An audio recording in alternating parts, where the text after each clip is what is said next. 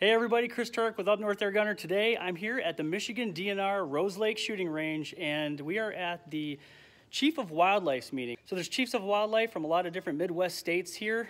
Uh, they've shown up for us to do a big bore air gun demonstration today. And so today we're gonna be looking at a couple different uh, technologies. Um, we're gonna be kind of a little bit of a history lesson about where big bore air guns have come from over the last 15 years or so.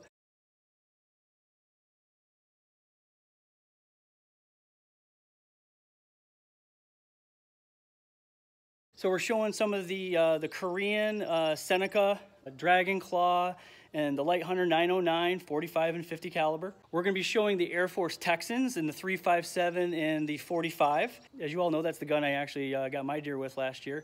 And today we are very excited to have a guest with us. We have Kyle, the engineer from Umarex, shooting the uh, hammer. So we've actually had the 50 cal Umarex hammer here today for demonstration.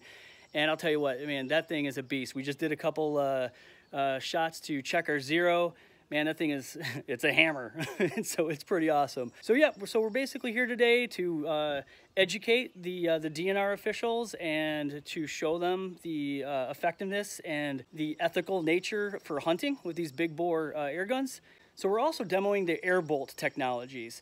So uh, Crosman has the airbow and Air Venturi came out with a system and there's just a lot of innovation going on right now shooting arrow-based and bolt-based projectiles out of air guns. Here in Michigan, uh, they are considering changing or adjusting some of the regulations to allow basically what we hope is to be all projectiles or any projectile from an air gun.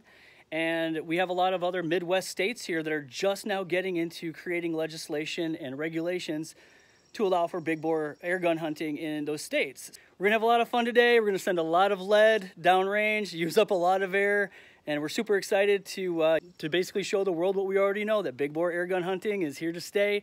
It's awesome fun, and uh, yeah, all right, so here, let's check it out.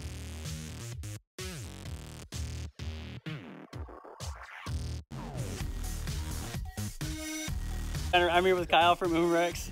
So am I gonna get scoped, dude? I hope not. All right, so let's, hopefully I won't get scoped. Here we go. Holy Dude, that is freaking awesome, man. Dude, that's freaking no joke. so what do you think? Cool. Yeah. Yeah, so that's the 45 Texan. Um, most guys that are getting into deer hunting choose the 45 caliber.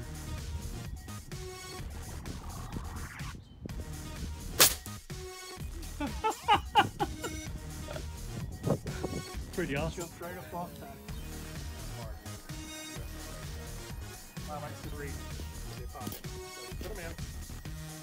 And you take the gun, safety's back, fire straight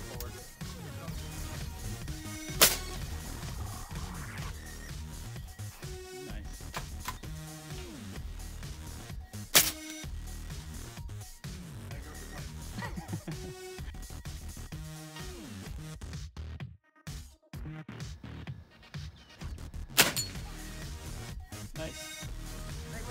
Perfect. Okay. So you put those crosshairs right in the middle of the bag and just squeeze the trigger and it.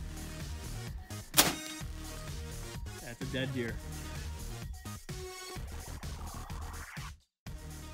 So yeah, we also had a lot of other wildlife agency officials from other states, um, from the Midwest, uh, coming here, seeing what we're all about here in Michigan with our big bore air gun hunting. And in that process, I definitely wanted to show the air bolt technology, basically the ability to shoot arrows from an air gun. And the challenge we've had up to this point, quite honestly, is finding a way to actually stop these things. So these are uh, flying at um, 550 feet per second out of the Air Force Texan. And we tried pretty much every crossbow bag on the market. We could not find anything in our local sporting goods stores. So I stumbled onto a company actually here in Michigan and they are Spyderweb targets. Spyderweb targets out of St. Joseph, Michigan. So I called them up. I said, hey, we're doing this demo shoot with the DNR and we just can't find a way to stop this thing. You know, could your target stop a projectile that is going this fast and that has this much energy and velocity coming out of our Air Force Texan? So yeah, I talked to Kelly from Spyderweb Targets and he said, yeah, it's gonna stop it. And he has a new target line called the No Limits basically no speed limit uh, line of targets. And today I'm shooting the uh, ST24XL. So this is a 24 inch target and I will tell you what, this is absolutely perfect. If you're getting into big bore air guns with the airbolt technologies or if you're shooting the Benjamin airbow, this thing is awesome.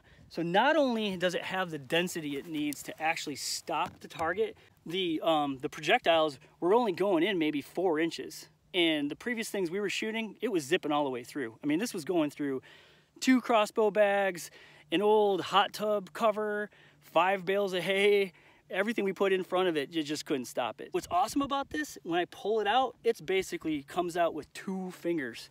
So stops it, comes right out with just two fingers. So if you are getting into big bore air gunning, if you're getting into um, the airbow technologies, if your state allows it for uh, hunting, or if you buy a kit and you just want to get into it to just to try it out, so definitely Spyderweb targets is the way to go. These guys are awesome. Kelly, thank you so much for sponsoring this shoot today. It went really well. We were able to demonstrate the power and the ethical use of these projectiles for hunting here in Michigan. It is still illegal. It is not uh, an allowed projectile yet, but we are in the conversation with the proper officials and we will continue that conversation. So stay tuned.